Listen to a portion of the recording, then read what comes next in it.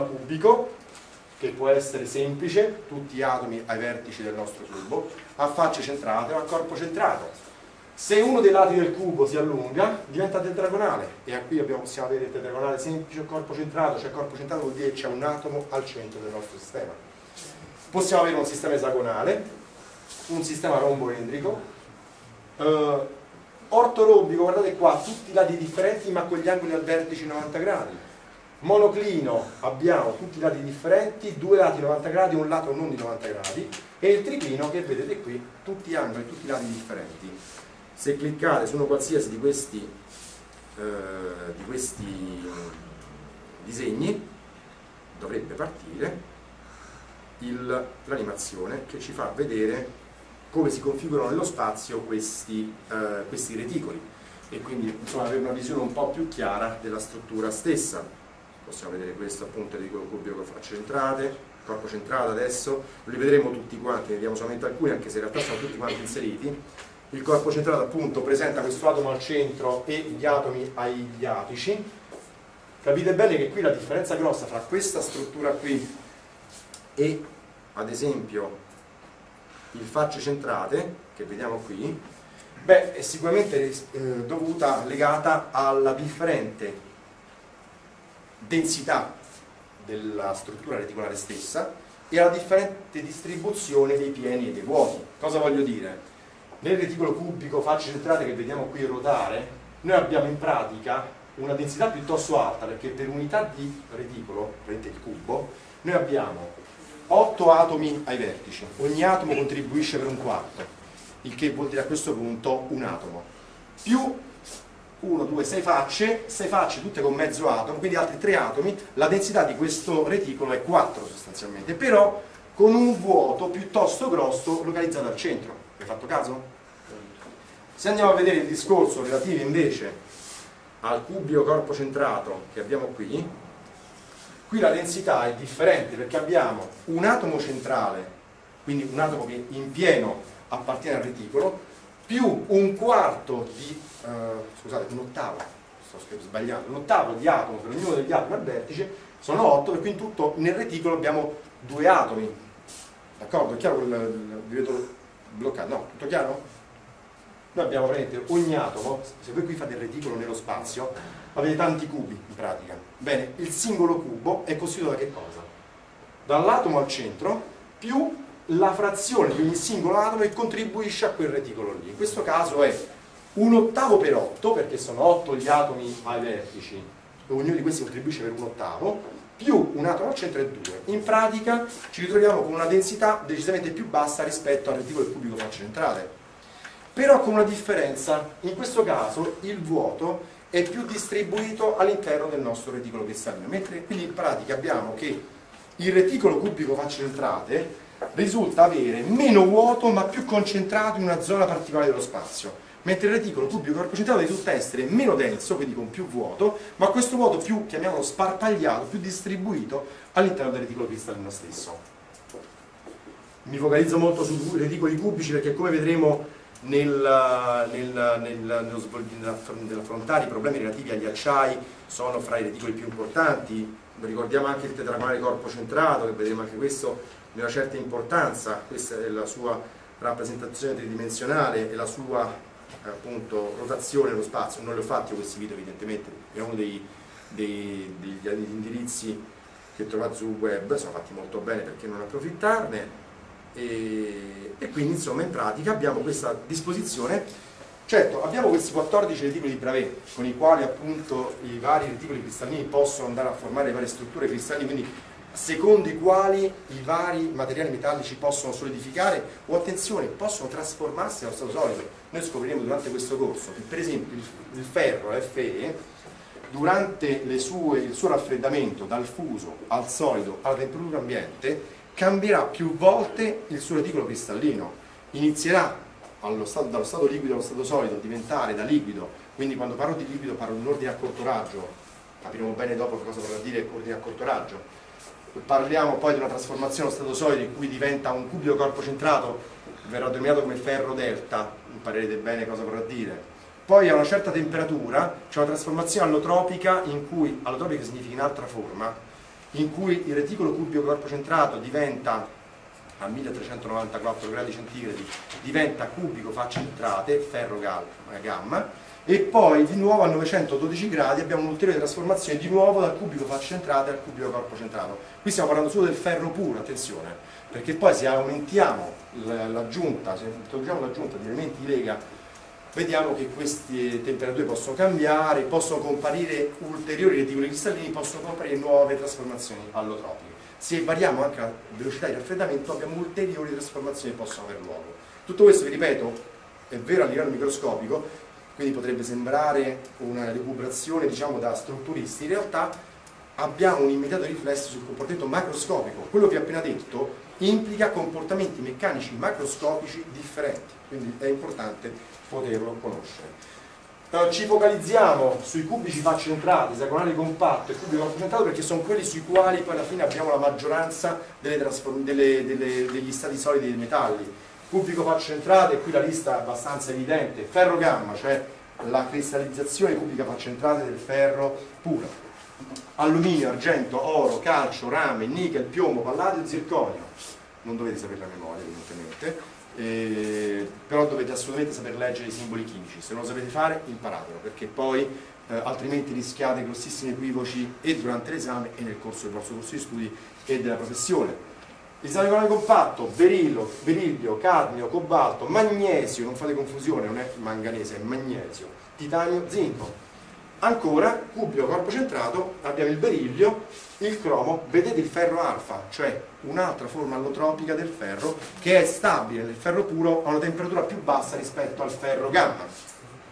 Potassio, litio, molibdeno, so, molibdeno sodio, niobio, tantalio, vanadio, tungsteno, W il simbolo esce fuori dal vecchio nome wolframio e zirconio.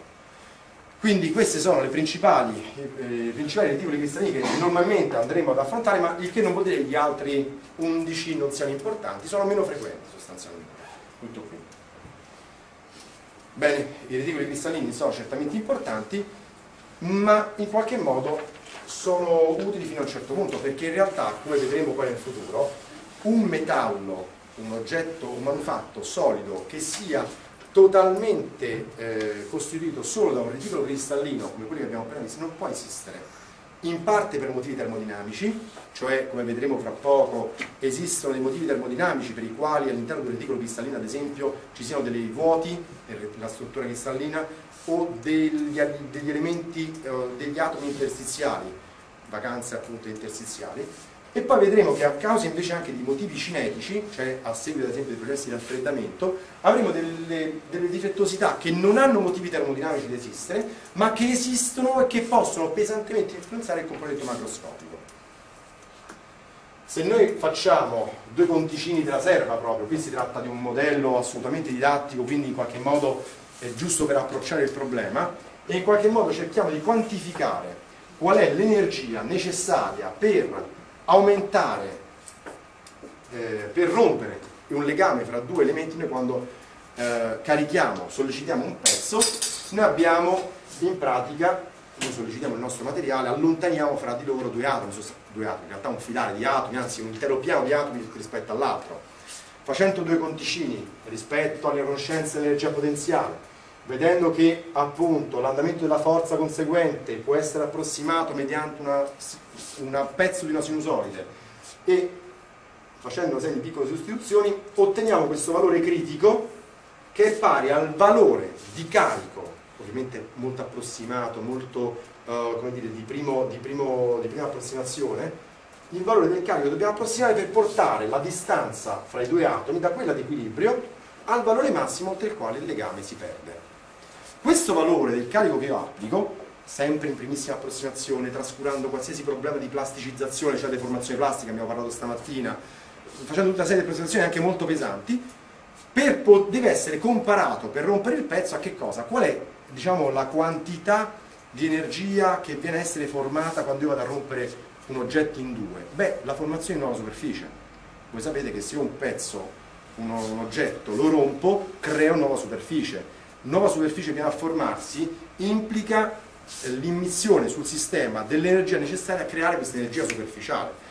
Se io vado a, comparare questo valore con quello relativo all'energia superficiale, non stiamo qua a fare i conti, è solo, qui ci sta tracciata la sequenza, non voglio entrare nel dettaglio, ma abbiamo un valore della sigma critica teorica, ovviamente vi ripeto con tutte le approssimazioni e le imprecisioni che abbiamo fatto, basata solo sul fatto che io tirando rompo un pezzo e mi si creano nuove superfici, che è pari a questo valore qui, A con 0 la distanza atomica iniziale e il modulo di Young, gamma con S è il, la nostra energia superficiale specifica.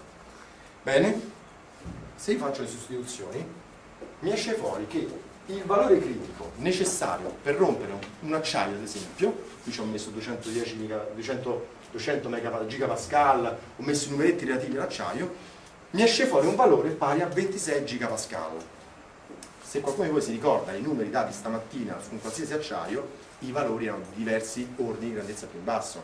Noi avevamo che i carichi di snellamento e rottura stavano nell'ordine di 200, 300, 500, 1000 megapascal, cioè quindi in gigapascal vuol dire 1 al massimo, 1 gigapascal. Ricordo che il mega significa 10 alla 6, il giga 10 alla 9, il tera 10 alla 12, d'accordo? Questi sono i prefissi da utilizzare. Quindi in pratica la resistenza teorica, se ricordiamo che il modulo di Young è circa 200 gigapascal, la resistenza teorica appunto ottenibile mediante una serie di passaggi numerici basati su una serie di approssimazioni anche abbastanza spinte, uscirebbe fuori circa a un decimo del modulo di Young, la resistenza reale di un manufatto metallico è invece circa un millesimo del suo valore. Come ordine di grandezza stiamo parlando. Quindi c'è una netta distinzione, una netta differenza fra il valore teorico ottenibile da calcoletti numerici sulla base della conoscenza dei parametri reticolari del modulo di Young e dell'energia superficiale che è in pratica il valore che viene considerato come necessario da dover aggiungere l'energia che deve essere immessa nel sistema durante la rottura di un pezzo e i valori reali che invece sono osservati decisamente più in basso è chiaro che qualcosa all'interno del reticolo cristallino non torna. Qualcosa all'interno del reticolo cristallino in qualche modo non rende conto della mancata idealità. Noi non possiamo rappresentare un reticolo cristallino di un metallo utilizzando solo i discorsi relativi ai reticoli di Bravetta, perché poi questo modello non ci consente di avere una connessione con la reale capacità del nostro materiale di sostenere delle sollecitazioni, anche solo quasi statiche come abbiamo appena detto, cioè si tirava lentamente il nostro sistema costituito da reticoli cristallini ideali. E infatti all'interno dei nostri sistemi metallici, dei nostri reticoli cristallini, abbiamo tutta una lunga lista di tipologie di difetti che vediamo qui essere classificati secondo la loro, diciamo, la loro dimensione. Possiamo parlare di difetti zero dimensionali o puntuali, interstizi, cioè elementi chimici che vanno a posizionarsi non nel reticolo cristallino, ma nei, diciamo, nei, nei vuoti disponibili. Vi ricordo per esempio il cubico faccia centrale, c'è un bel vuoto disponibile al centro, quindi quello è sicuramente un luogo che può accogliere un atomo, anche il cubico faccia centrato ha dei siti che possono essere utilizzati. Vacanze, cioè punti del reticolo cristallino che mancano dell'atomo corrispondente, oppure, e questo è il caso ad esempio degli elementi di lega, atomi sostituzionali.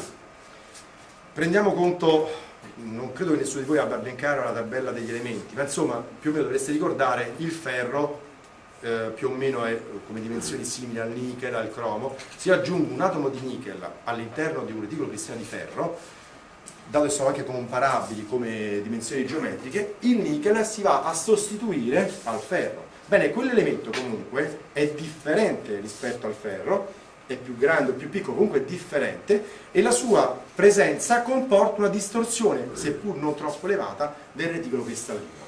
Questa distorsione è certamente un difetto. Attenzione, quando dico la parola difetto non dovete per forza pensare a qualcosa di negativo, tant'è che come vedremo più avanti, noi metalli puri non li utilizziamo mai, noi utilizziamo sempre delle leghe, o quasi sempre delle leghe, almeno per gli impieghi meccanici abbiamo sempre delle leghe, quindi l'aggiunta di elementi di lega è una cosa assolutamente positiva in moltissimi casi, dipende poi qual è l'elemento che viene a essere aggiunto. Però oggettivamente dal punto di vista rigorosamente cristallografico un atomo aggiunto, sia esso si vada a posizionare in posizione sostituzionale, cioè al posto dell'atomo matrice nel reticolo, sia esso per esempio un atomo molto piccolo, per esempio un metalloide, carbonio, idrogeno, azoto, sono atomi piuttosto piccoli, che hanno la tendenza a posizionarsi invece nei, negli spazi vuoti disponibili, quindi vanno a fare gli interstiziali in questo caso, Bene, tutti questi sono per il nostro metallo a livello di reticolo cristallino dei difetti. Ma vi ripeto, nella parola difetto non dovete trovarci per forza un'accezione negativa.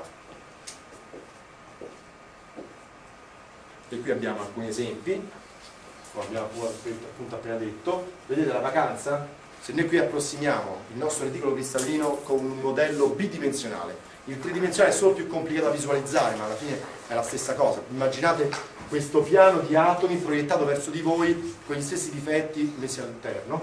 Bene, vedete la presenza una vacanza, il punto 1, cioè la mancanza di un atomo all'interno di un reticolo cristallino in, in corrispondenza di una posizione reticolare, cosa implica? Guardate bene, proprio a livello geometrico, che gli atomi vicino tendono un po' fra virgolette a approfittare di questa mancanza e si ricollocano, si ridislocano, si riposizionano comportando a livello del reticolo una sorta di deformazione.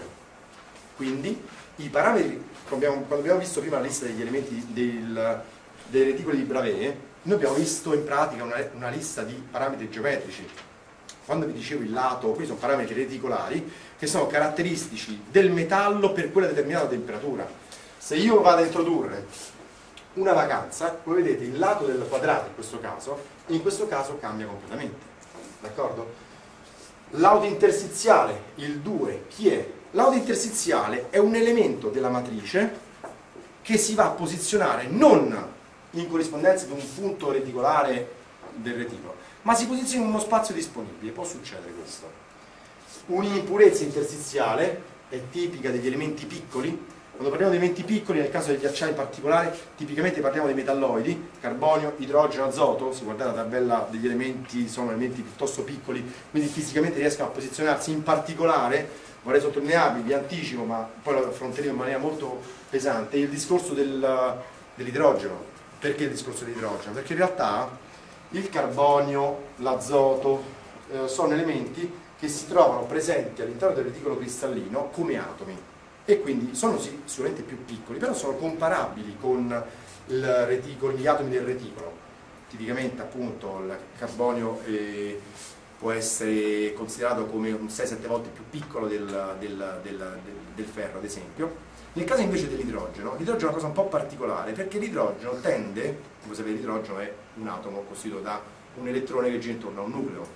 Quell'elettrone in realtà viene a essere perso nel, nel mare di, di, elettroni, nel mare di fermi, in qualche modo si delocalizza all'interno del, del, reticolo e in pratica il protone, che costituisce il nucleo del, del nostro atomo di idrogeno, entra nel reticolo cristallino e voi capite bene che il protone come atomo, scusate, il protone come nucleo, ma alla fine come protone, è estremamente più piccolo di un atomo. Per ricordarvi un modello abbastanza utilizzato, se consideriamo in scala un atomo di idrogeno pari a un campo di calcio, il nucleo, cioè il protone che è al centro, è grosso quanto il pallone al centro del campo di calcio. Se voi perdete l'elettrone capite bene che la dimensione dell'atomo di idrogeno che va a interagire col sistema è estremamente più piccola, quindi che vuol dire si riesce a mettere molto più all'interno del reticolo, riesce a girare molto più facilmente, tant'è che infatti i coefficienti di diffusione, cioè la capacità di questi atomi di idrogeno di muoversi nel reticolo cristallino è molto più alta rispetto già al carbonio, che non è poi tanto più grosso come atomo, però appunto non perdendo il suo guscio di elettroni in realtà il carbonio è molto più lento, mentre invece l'idrogeno perdendo il suo unico elettrone si delocalizza e viaggia all'interno del reticolo cristallino portando a grossissimi problemi nel comportamento meccanico macroscopico. Guardate qui le mie lucubrazioni a livello di comportamento fisico dell'elemento si eh, trova un immediato corrispettivo col comportamento macroscopico. Esistono eh, scale di sicurezza, ad esempio, che vengono eh, costruite in acciaio, bullonate normalmente, non so se visto mai, e spesso quei bulloni sono zincati, normalmente la zincatura utilizzata è una zincatura elettrolitica. Quella zincatura ha una procedura che comporta spesso delle condizioni tali per cui si carica in idrogeno il metallo se quel bullone non è stato opportunamente deidrogenato, tipicamente si tratta di un riscaldamento a 150-200 gradi centigradi, in sei mesi la scala crolla, d'accordo? Quindi vengono giù i bulloni come se piovesse e tempo sei mesi viene giù tutto. Quindi vi dico, questo fenomeno che ho appena raccontato trova poi in campo meccanico un corrispettivo pratico assolutamente evidente, assolutamente frequente tra l'altro, più frequente di quanto voi non possiate pensare. Ancora, 4 e 5, sono due casi, uno un po' più piccolo, uno un po' più grande, la cosiddetta impurezza sostituzionale, cioè il nostro elemento di lega ha dimensioni comparabili con la nostra matrice, l'elemento grigio, e in pratica si introduce nel nostro reticolo al posto dell'elemento base in posizione sostituzionale. È chiaro che essendo comunque un po' più grande, caso 5, o un po' più piccolo, lui implicherà una certa distorsione del reticolo. E una distorsione del reticolo vuol dire parametri reticolari locali differenti rispetto a quelli del reticolo di Bravais, diciamo del metallo, chiamiamolo puro, e il nostro sistema assolutamente pecca di idealità, è un difetto, poi vedremo se positivo o negativo, ma comunque è un difetto rispetto al reticolo cristallino ideale. Qui vediamo appunto le vacanze e gli autointerstiziali, autointerstiziale, lo stesso elemento si va a introdurre diciamo l'autointerstiziale eccetera, insomma l'autointerstiziale richiede o uno spazio piuttosto grosso nel quale può posizionarsi oppure una grossa deformazione del reticolo cristallino, da qualche parte si deve ficcare insomma.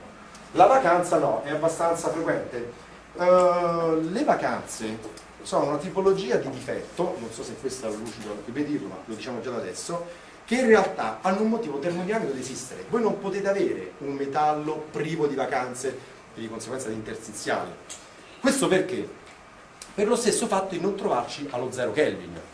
Che cosa voglio dire? Voi sapete già, quello avete fatto in qualche corso di fisica, che un metallo, per lo stesso fatto di trovarsi a una certa temperatura che non sia di zero Kelvin, in pratica da cosa è caratterizzato? Da atomi in posizioni reticolari con gli atomi che oscillano rispetto a posizione di equilibrio. Tanto più è alta la temperatura, tanto più questi atomi si oscillano intorno a queste posizioni di equilibrio, tant'è che poi a un certo punto a una temperatura abbastanza alta l'oscillazione è tale da far fondere il metallo, questo è sostanzialmente il processo di trasformazione solido-liquido, potremmo dire così.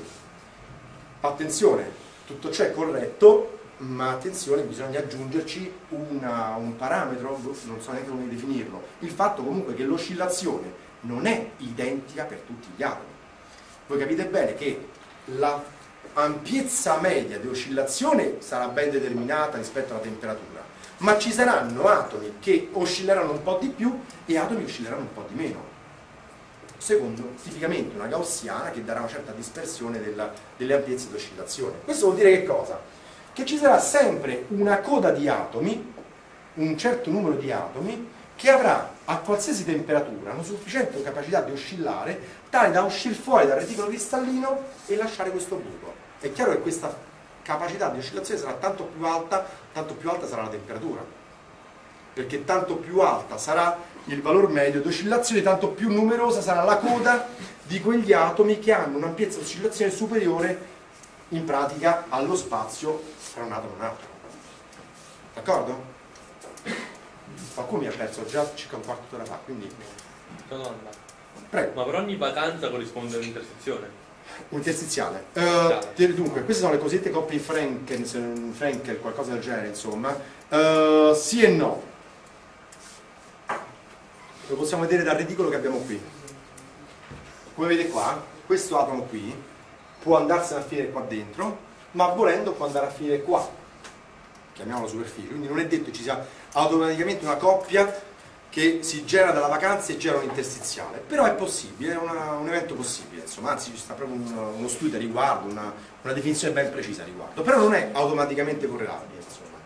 Però ecco, la cosa importante da capire è che voi non potete evitare di averle, cioè questo è un difetto che ha motivi termodinamici di esistere e sul quale voi non potete agire se non più di tanto, insomma, giocando con le temperature, eccetera, eccetera, insomma. Altre domande?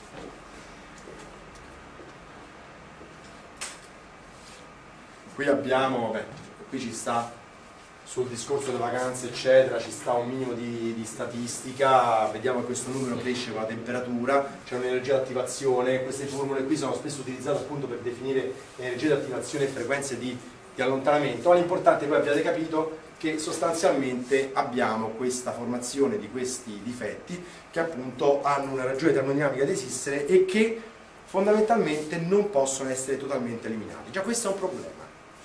Attenzione, quando voi non potete eliminare un problema, però potete tentare di sfruttarlo ai vostri fini. Vedremo fra un po' tutta questa sequenza di difetti di cui vediamo per il momento solo gli aspetti negativi, in realtà può essere poi sfruttata per migliorare un po' delle proprietà meccaniche, altrimenti dovrebbero essere solamente pessime e non potremmo assolutamente avere strutture con elevata resistenza meccanica. La seconda tipologia di difetti eh, che invece non hanno motivi termodinamici di esistere e che anzi appunto sono più che altro legati ad aspetti cinetici sono i difetti lineari detti anche dislocazioni. Cosa sono questi difetti lineari o dislocazioni? Sono mh, difetti organizzati, possiamo vederli qua. Uh, qui abbiamo due tipologie anche graficamente abbastanza evidenti, raccontiamole. In questo caso, quello detto appunto dislocazione a spigolo, abbiamo un semipiano, come se fosse un semipiano inserito a forza fino a metà all'interno del reticolo cristallino, vedete? Qui sopra il reticolo è buono, qui sotto ancora è buono, ma c'è un semipiano in più. Questo implica, se voi vedete nel tridimensionale, una sorta di tubo, chiamiamolo così, che comporta all'intorno una deformazione abbastanza importante e che questa deformazione varia a seconda del reticolo cristallino nel caso del cubico concentrato l'ampiezza di questa deformazione ad esempio è molto differente rispetto al cubico facce centrale. In quest'altro caso invece, la cosiddetta dislocazione a vite, noi abbiamo un reticolo cristallino, inizialmente ideale, immaginate con delle forbici di tagliare un semipiano di questo reticolo cristallino a partire da questo atomo qui, anzi da questo filare, lo tagliamo e immaginiamo di shiftarlo in questo modo qui di una distanza interatomica. Bene, introdotti questi difetti all'interno del sistema, vediamo che in pratica questi difetti consentono una deformazione plastica senza che sia necessario rompere un numero eccessivo di atomi. Che vuol dire questo?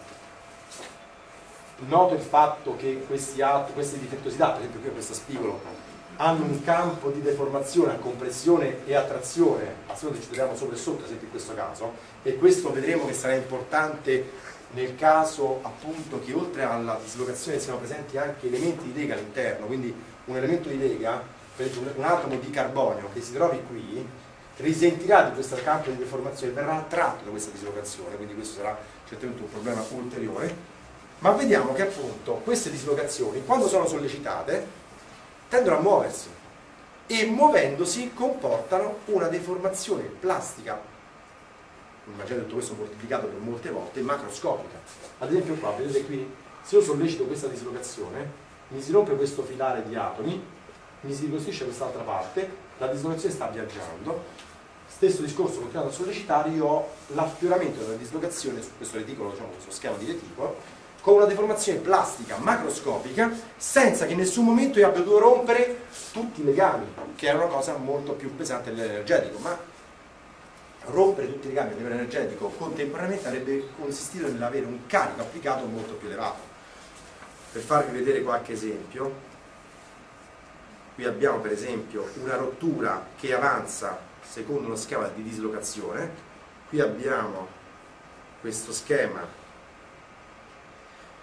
di deformazione chiaramente in scala microscopica che non comporta un, una rottura contemporanea di tutti i legami e qua abbiamo un oggettino, un bruco, che avanza in dislocazione, vedete? Il bruco non saltella a destra e a sinistra a pie pari tutti insieme, ma muove un'onda di dislocazione e avanza con una richiesta di energia abbastanza bassa. Questo appunto è un avanzamento, vedete quest'onda che si propaga, che è assolutamente conveniente rispetto a un movimento simultaneo di tutte le zampette del bruco. È un modello chiaramente biologico che però permette di capire che cosa? che la presenza delle dislocazioni consente deformazioni microscopiche, ma poi immaginate queste dislocazioni non ce n'è presente una, ma vedremo fra poco, sono presenti in quantità enormi, eh, fra l'altro in strutture anche organizzate, consentono in qualche modo di avere una deformazione macroscopica con sollecitazioni applicate più basse rispetto a quelle che potrebbero essere ottenute con un reticolo totalmente ideale privo di questo tipo di difettosità. qui vediamo vi faccio vedere questi tre questi tre filmati questi fili che vedete sono proprio questi filari atomici. Questi sono foto, anzi sono foto, sono filmati presi al microscopio elettronico a trasmissione consente di osservare proprio il filare della dislocazione. Sollecitate si muovono. Adesso qui lo faccio rivedere forse lo siete perso forse qui era più evidente. Vedete qua? Possiamo vederlo qui anche. Guardate questa qui questa qui per esempio. Notate, io prima vi ho detto sono tantissime, poi qui sembrano poche, in realtà qui stiamo osservando un solo piano reticolare, praticamente pochi piani reticolari con questo microscopio a trasmissione. Immaginate il tutto moltiplicato sul tridimensionale, d'accordo? Quindi appunto se noi sollecitiamo una dislocazione questa tende a muoversi, dipende molto dalla tipologia di sollecitazione, dalla direzione di applicazione del carico e dipende anche dal piano reticolare su cui questa dislocazione può muoversi e in questo caso vi faccio vedere una simulazione per un sistema di atomi pari a 10 alla 9 atomi di rame eh, come si collocano le dislocazioni nel tridimensionale. Quando vi dicevo che queste dislocazioni sono numerose e sono intricate, ogni tubicino praticamente rappresenta il filare di atomi intorno alle dislocazioni. In pratica le dislocazioni in un reticolo cristallino sono una sorta di groviglione, immaginate un reticolo di un, un gomitolo di lana sostanzialmente. Bene, ogni filo è una dislocazione capite bene che tendono a intersecarsi fra di loro, quindi in realtà quando io sono lecito non tutte le dislocazioni partono, partono solo quelle che rispetto ai piani reticolari possono muoversi realmente e queste dislocazioni fra di loro possono, a seconda della densità, della loro quantità, anche intersecarsi fra di loro. Questo dettaglio lo vedremo poi più avanti quando appunto andremo a vedere un po' meglio poi come queste dislocazioni realmente possono essere gestite. Cioè quello che adesso noi per il momento stiamo vivendo come un difetto, cioè noi abbiamo detto queste dislocazioni sono il motivo per cui non abbiamo valori del carico di rottura pari a quelli ideali, ma sono di parecchie volte più bassi, parecchi ordini di grandezza più basso, in realtà vedremo che potranno essere sfruttate proprio ai fini di un incremento delle proprietà meccaniche, cioè potremo sfruttare queste, queste, questi difetti. Qui abbiamo la simulazione dell'intersezione tra dislocazioni sempre nello stesso blocco del nostro insieme di atomi di rame. Qui per farvi capire, vi ripeto, che quello che si vede, quello che si osserva è un numero di dislocazioni estremamente ampio e che quindi quelle che abbiamo visto prima erano solamente quelle che con lo strumento riusciamo a misurare, a osservare su quel piano reticolare eh, microscopio elettronica a trasmissione è uno strumento molto particolare, molto complicato e che quindi appunto permette di fare delle misure solamente legate al nostro piano di osservazione. Qui vediamo come evolve la microstruttura sollecitando qui abbiamo la parte di campi deformazione qui sotto vediamo per spessori differenti cosa succede alle dislocazioni che sono rappresentate come linee all'interno del nostro sistema. Quello che voglio dirvi che cos'è allora. È in pratica il fatto che queste dislocazioni riescono a muoversi si intersecano, si bloccano perché ogni punto di intersezione è un punto di blocco, hanno un inizio e hanno una fine. Questi inizi e questa fine normalmente coincidono con un bordigrano, possono coincidere con particelle che più avanti chiameremo inclusioni non metalliche, che possono appunto fungere da origine o fine della dislocazione stessa e nel loro modo in realtà possono muoversi su piani reticolari ben precisi, non possono muoversi su qualunque piano reticolare questo dipenderà poi anche dalla direzione di applicazione del carico, dalla tipologia e dalla direzione di, eh, del grano cristallino e quindi da tutta una serie di fattori anche cristallografici. Le dislocazioni, attenzione, noi abbiamo detto sono un difetto importante e abbiamo detto sono presenti in grande numero all'interno di un metallo. Sono originate sostanzialmente da problemi, chiamiamoli così, che possono avere luogo durante il processo di solidificazione ma in realtà quelle che vengono a essere ottenute durante il processo di solidificazione, sebbene numerose, non sono sufficienti ancora a spiegare quella differenza fra valore teorico e valore reale nella prova, nel caso di una sollecitazione e attrazione. Questo perché noi durante il processo di sollecitazione e attrazione abbiamo anche un meccanismo, chiamato meccanismo di Frank Reed, che permette la loro moltiplicazione, cioè in realtà non è che una volta solidificato le dislocazioni hanno una densità, un numero ben preciso e quello è fino alla morte del materiale. No, se noi sollecitiamo queste dislocazioni oltre a muoversi possono moltiplicarsi, osservate qua che succede. Qui guardate, qui ci sta un punto qui e un punto qui, che sono dei punti fissi. Qui il pezzo viene sollecitato, d'accordo? Vedete cosa sta succedendo? Osservate bene. Qui a fianco, a sinistra, avete lo schema del meccanismo In pratica, la dislocazione in questo caso, guardate, è molto bella questa sequenza, è bloccata qui e qui, un po' come bloccata qui e qui. Sollecitando, la dislocazione, abbiamo visto prima, si muove, cioè questi due piani tendono a muoversi, però rimanendo bloccati il punto di inizio e il punto di fine. Il filmato. Evidentemente quindi si muoverà restando bloccati questi punti. Continuiamo ad applicare il carico, si blocca, continuiamo ad applicare il carico, si blocca, si riunisce e ottengo questo. Ma questo vuol dire che io da una dislocazione ne ho ottenute due. Che è appunto un processo di moltiplicazione chiamato meccanismo di Frank-Reed. Qui abbiamo invece una foto che appunto ce ne rappresenta diverse partite ad anello, che poi capite bene queste partono. Dove vanno? Beh, propagheranno nel nostro sistema, andranno a interagire con quello che trovano. Qui non vi scordate che ci troviamo in una regione omogenea di spazio che è appunto una regione che ha una stessa eh, struttura cristallina, non ci scordiamo che non è detto che ciò avvenga su un intero manufatto, tipicamente questo manufatto metallico, una chiave, non è costituita da una unica regione omogenea di spazio. Qui abbiamo tanti microvolumi, che chiameremo grani cristallini, ognuno orientato in una maniera differente. Se facciamo uno, uno, uno schema, per esempio, bidimensionale, il caso di un monocristallo potremmo vederlo per esempio come un insieme, questo dovrebbe essere visto come un modello bidimensionale a base quadrata potremmo dire, di un monocristallo, d'accordo? Con tutti gli atomini sulle posizioni, adesso le faccio ovviamente tutte, sugli apici. Ma normalmente, non è quello che noi abbiamo normalmente, normalmente noi abbiamo regioni di spazio che sono differenti per l'orientazione del reticolo cristallino, cioè il reticolo è sempre per esempio quadrato nel bidimensionale, cioè cubico corpo centrato, cubico facce centrate, ma le orientazioni possono essere diverse, per esempio questa è in questa direzione, Questa è, stesso, è lo stesso reticolo di questo, quindi la stessa fase, ma con direzioni cristallografiche differenti. E quindi parleremo sostanzialmente di zone omogenee come densità, come elementi chimici, eccetera, ma differenti come orientazione dei, reticoli, dei piani cristallini.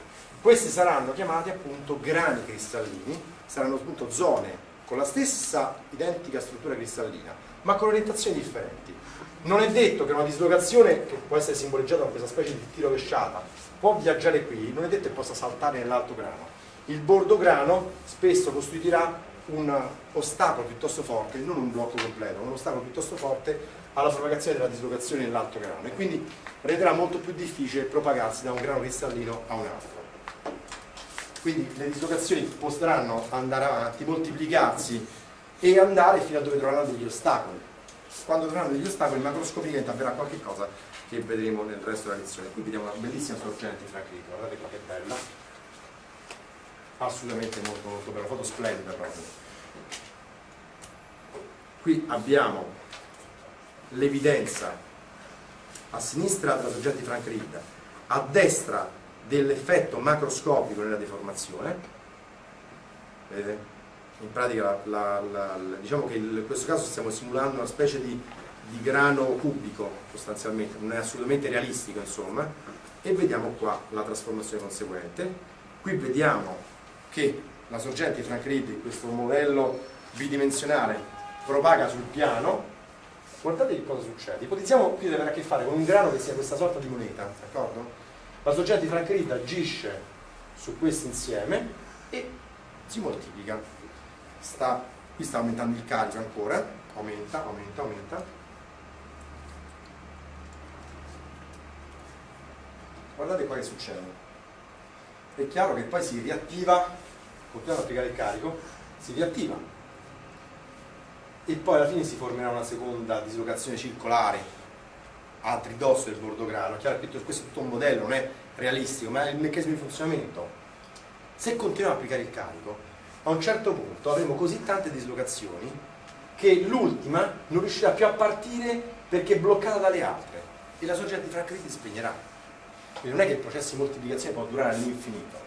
Il processo di moltiplicazione sarà ostacolato poi a un certo punto alla stessa densità di dislocazioni che a un certo punto diventerà così alta da rendere impossibile il funzionamento di queste sorgenti. Tipicamente in un processo di moltiplicazione la densità può arrivare fino a mille volte più, più alta, d'accordo? Quindi abbiamo una proliferazione delle dislocazioni stesse assolutamente molto molto spinta.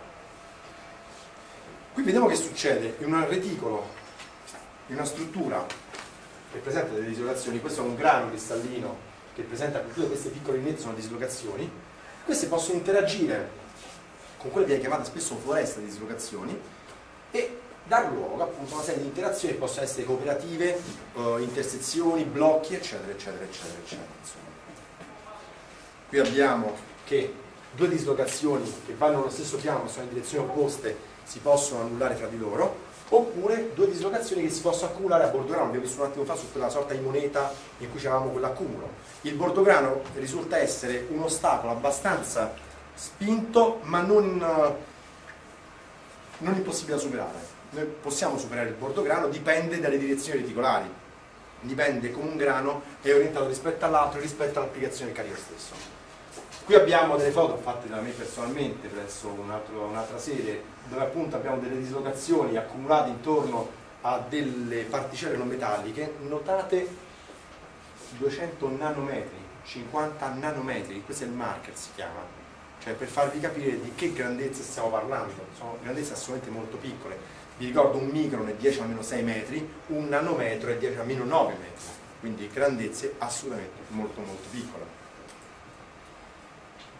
le dislocazioni con i precipitati, cioè con quelle particelle che abbiamo cominciato a, nominare, ancora non abbiamo ancora viste come, come entità, sono diciamo delle piccole particelle, sono delle piccole zone, i precipitati ce ne possono essere di vario tipo, ma sono delle zone che sono, risultano essere una sorta di soluzione di continuità rispetto alla matrice metallica, ma sono anch'esse metalliche, cioè sono delle seconde fasi, delle terze fasi, che possono in qualche modo ottenersi all'interno di una struttura cristallina. Mi spiego meglio noi potremmo avere ad esempio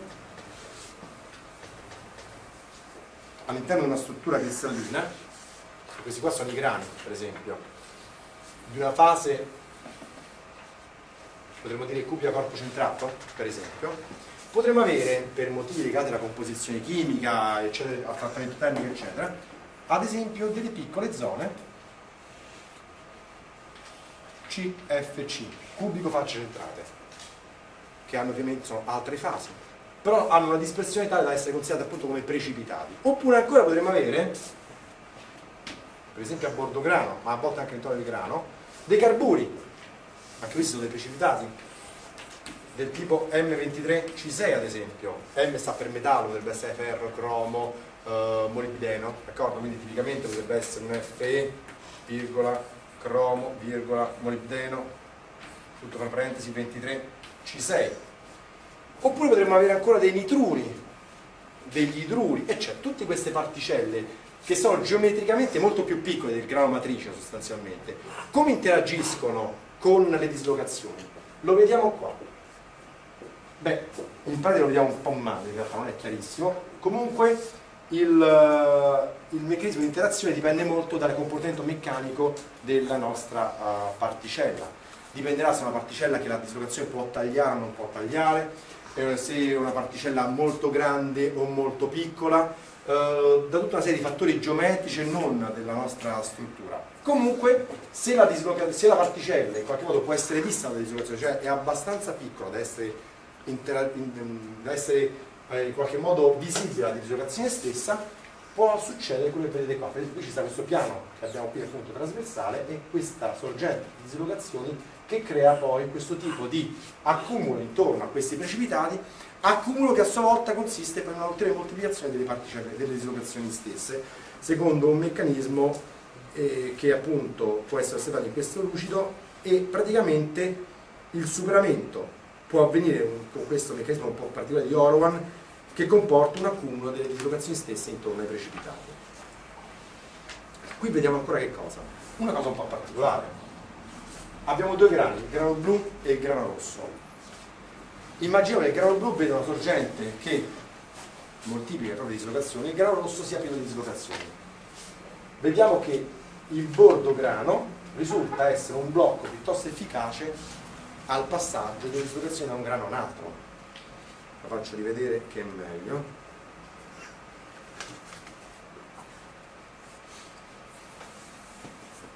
adesso riprendo da capo. Uh, questo vuol dire che cosa?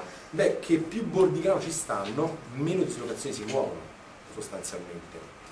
Come abbiamo capito, uh, a livello di comportamento meccanico macroscopico, cioè quello che poi andate a misurare con una macchina di prova, ad esempio, eh, il movimento delle dislocazioni è qualcosa che più impedite, più implica un aumento del carico che il vostro sistema può sopportare.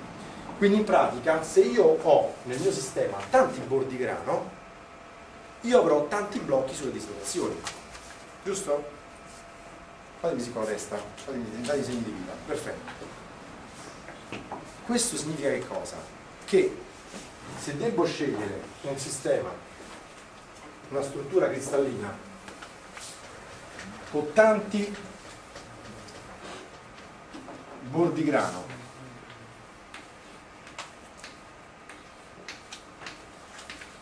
oppure una struttura fatta così per una normale applicazione del carico quale struttura resisterà meglio? quella con più bordi grano che è questa cioè quella che ha i grani più piccoli tant'è che esiste poi una relazione empirica sperimentale la relazione di Voltage che ci permette di correlare il carico di serramento con la dimensione media del grano cristallino con dei coefficienti A e B che dipendono dal metallo, eccetera, e vediamo che, visto l'esponente meno un mezzo, quanto più è piccolo il grano cristallino, essendo questo al denominatore, che è alla meno un mezzo, tanto più alto sarà il valore di R con S, previa appunto la conoscenza dei coefficienti A e B, che sono coefficienti empirici, quindi vanno semplicemente sperimentalmente determinati. Però questo è importante per capire che certamente, allora noi sappiamo che le risurrezioni ci sono, è difficilissimo evitare che ci siano, anche se si può ottenere, ma è difficilissimo ed è anche molto costoso. A questo punto, se ci sono, le sfruttiamo. Le sfruttiamo per esempio come? Impedendone il movimento, aumentando al massimo, per esempio, la quantità di bordi grano, ovvero diminuendo al massimo la grana cristallina. Si può giocare metallurgicamente su questi parametri, basta saperlo fare appunto durante il processo di solidificazione, durante le trasformazioni allotropiche a seguito dei trattamenti tecnici. durante, qui vediamo qualcosa, durante il loro movimento le dislocazioni non solo trovano ostacoli a livello di bordi grano, ma in realtà la loro stessa densità risulta essere un ostacolo. Mi spiego meglio. Prima abbiamo visto quella simulazione relativa ai grani, scusatemi, agli atomi di rame, d'accordo? Bene, quella simulazione in realtà non ci faceva altro che capire che una dislocazione lì per muoversi è tanto più ostacolata quanto più è densa quella, quella foresta che abbiamo visto di questi, di questi filamenti d'accordo? quindi certamente un modo per incrementare la resistenza meccanica del nostro materiale aumentare sembra paradossale ma aumentare la quantità di questi difetti e questo lo scopriremo durante il meccanismo di incrudimento che appunto noi tanto più aumentiamo la densità dei difetti cristallini cioè quanto più aumentiamo la densità di quei difetti lineari che sono la causa di non idealità del comportamento meccanico del nostro materiale, tanto meglio va a comportarsi. Sembra abbastanza paradossale, ma se ci fa un attimo mente locale non lo è. Difetti superficiali. Sotto il nome di difetti superficiali possiamo elencare sicuramente la superficie del metallo. La superficie del metallo è il difetto superficiale per eccellenza, è l'interfaccia che un metallo ha, che un manufatto ha con il mondo esterno Uh, perché è un difetto? Beh, perché anzitutto l'atomo che sta sul bordo non è in equilibrio come gli atomi che stanno all'interno, gli atomi che sono all'interno del pezzo sono equilibrati tutti gli atomi che stanno intorno, l'atomo che sta sul bordo in realtà è in disequilibrio perché fuori c'è il nulla per lui in qualche modo ed è proprio questo nulla e il fatto che lui si trova circondato solo per metà da altri atomi della sua stessa specie che comporta poi proprietà tipo la tensione superficiale, l'energia superficiale, il fatto che voi che toccando un materiale solido non riuscite a penetrarlo perché appunto c'è una differente capacità di resistenza meccanica. Inoltre poi la superficie del metallo, a livello di ingegneri meccanici, ovviamente, beh, è fondamentalmente legata a che cosa? Alla finitura superficiale. Voi avete lavorato, fatto lavorare un pezzo, bene, quel pezzo potrà essere molto lucido, potrà essere più scabroso e tanto più è lucido e scabroso, tanto diverse saranno le proprietà meccaniche macroscopiche. Inoltre poi la superficie del nostro metallo è una zona in cui il nostro ambiente esterno interagisce col metallo, quindi processi di corrosione, ovvero interazione fra il metallo e ambienti in cui è presente acqua allo stato liquido o allo stato di vapore, processi ossidativi, cioè interazione fra metallo e ambienti che contengono o per niente acqua o acqua allo stato di gas, qual è la differenza? Il primo caso un chiodo immerso in acqua di mare, quello è il caso tipo di corrosione e nel secondo caso una marmitta alla vostra automobile, quello è un caso di ossidazione per gas caldo? Quindi sono proprio tipologie di danneggiamento molto diverse. Abbiamo ancora bordigrano, quel difetto che abbiamo visto un attimo fa, cioè il fatto che abbiamo zone del nostro stesso materiale che hanno lo stesso reticolo cristallino ma orientati differentemente ci impone qualche cosa, cioè noi abbiamo dei piani cristallografici in una direzione, degli identici piani cristallografici ma che sono orientati leggermente diversamente. Noi dobbiamo poi rendere compatibili questi, differ queste differenti orientazioni e avremo fra un grano e l'altro, cioè fra zone aventi lo stesso reticolo cristallino ma direzioni cristallografiche differenti, avremo un'esigenza di renderle geometricamente compatibili, altrimenti ci sarebbero dei vuoti, che non è accettabile. Possono anche esserci dei vuoti in un metallo, insomma non è lo stato usuale. Questa zona in cui si rendono compatibili due reticoli cristallini tra loro simili ma orientati differentemente si chiama appunto bordograno, tipicamente a dimensioni molto ristrette, eh, dell'ordine di 2-3 distanze interatomiche, è una zona fortemente distorta. Aggiungiamo anche qualcos'altro. Se è una zona fortemente distorta, è una zona che avrà una energia libera molto più alta. Voi già sapete, avete già intuito dai discorsi fatti stamattina, se ha più energia libera dentro di sé, sarà una zona che per tutta una serie di motivi avrà più predisposizione a far avvenire una serie di processi di trasformazione, perché avendo più energia libera può in qualche modo darne di più durante un processo di trasformazione. D'accordo? Quindi la, il bordograno, caratterizzato da questa forte distorsione interna, sarà una zona che presumibilmente potrà essere più facilmente il luogo, ad esempio, di trasformazioni allotropiche, come appunto vedremo più avanti. E ancora difetti di infilamento, qui abbiamo i bordigrano, scusate sono andato leggermente oltre, ma tanto qui abbiamo però, sui bordigrano, ho parlato troppo sulla prima lucido, adesso iniziamo un attimo a richiamare un attimo, guardate qui che carino questa comparazione. Uh, se noi abbiamo dei grani, che cosa stiamo guardando in questo momento? Due tipi di due situazioni differenti. In realtà, se noi prendiamo il nostro sistema eh, costituito da grani cristallino, portiamo a temperatura più o meno alta, senza che ci siano trasformazioni allotropiche, possiamo avere un processo di crescita del grano cristallino e di inglobamento degli altri grani. Qui vediamo due situazioni relative a una situazione di isotropia o di dipendenza dall'orientazione, ma lasciamo perdere questa differenza. In realtà è un po' quello che potete vedere nella vostra vasca da bagno quando è piena di bolle.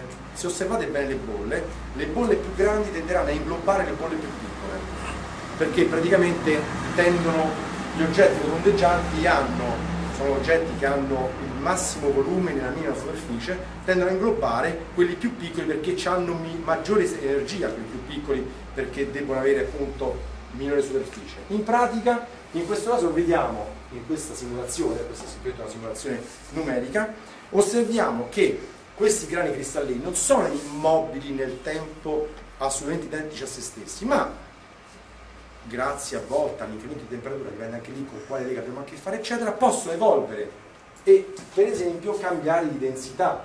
Notate qua nel tempo, alzando un po' la temperatura, i grani tendono a aumentare di dimensioni, cosa che come abbiamo visto prima dalla legge di Orpec non è assolutamente una cosa di per sé positiva. Qui abbiamo altre trasformazioni sui bordi grano, queste le sto facendo già annotare adesso mentalmente, perché poi quando andremo a parlare di trattamenti termici sarà importante capire che se riscaldiamo un materiale possiamo avere sicuramente delle trasformazioni allotropiche, ma possiamo anche avere delle trasformazioni in cui non c'è un cambiamento di fase, ma c'è un cambiamento di grani cristallini. Guardate qua, ve lo ripeto questo perché è interessante. Da una grana abbastanza fine, riscaldando e aspettando, abbiamo poi sperimentalmente una grana più grossolana. Questo vuol dire un pezzo che ha inizialmente proprietà meccaniche di un certo tipo, a valle di questo che sta succedendo, avremo proprietà meccaniche totalmente differenti. Guardate qua, se io applico una sollecitazione, forse si vede meglio dopo, qui deformo il mio pezzo, guardate la deformazione cosa consiste? cambiano proprio le forme dei grani cristallini, quindi deformare un pezzo implica una deformazione macroscopica importante. Guardate che cosa diventa. Ve lo faccio rivedere perché è importante. Grani equiastici, cioè più o meno stesse direzioni, deformando, diventano quello che appunto state osservando e se poi dopo la deformazione eventualmente riscaldo guardate qua c'è una rinucleazione e tende a ricreare la situazione originale. Un pezzo non è mai uguale a se stesso dipende che storia termica sta subendo o ha subito. Vediamo qua si formano sottograni guardate qui e riscaldando abbiamo trasformazioni che implicano una nuova nucleazione con crescita, di qui abbiamo dei grani che diventano sempre più grandi, cosa assolutamente non positiva, i grani molto grandi sono una cosa assolutamente non positiva. Difetti di impilamento, abbiamo visto prima i reticoli di Bravè, i di Bravè si ottengono impilando piani reticolari uno sopra l'altro, secondo sequenze ben precise, se queste sequenze non vengono rispettate si otterrà per esempio uno strato di atomi estraneo rispetto alla sequenza ottimale. Quello è un difetto di impilamento. Per cui per esempio se abbiamo una sequenza che può essere vista come quella che vedete qui, può esserci una parte estranea e quello può essere appunto un difetto di infilamento più o meno importante. Qui vediamo appunto sono delle sigle che vanno a indicare la posizione degli atomi AB, AB, AB oppure ABC, ABC, ABC in realtà che corrispondono poi a tipologie differenti possiamo avere dei piani reticolari estranei come difetti di infilamento ma a livello di comportamento macroscopico questo diciamo forse ha un'importanza abbastanza più bassa. Qui lo vediamo un po' meglio in questo modello bidimensionale. Difetti tridimensionali micro e macro vuoti e inclusioni non metalliche noi prima abbiamo detto che forse volete fare una sosta? Sì? Sosta, ok, fermiamo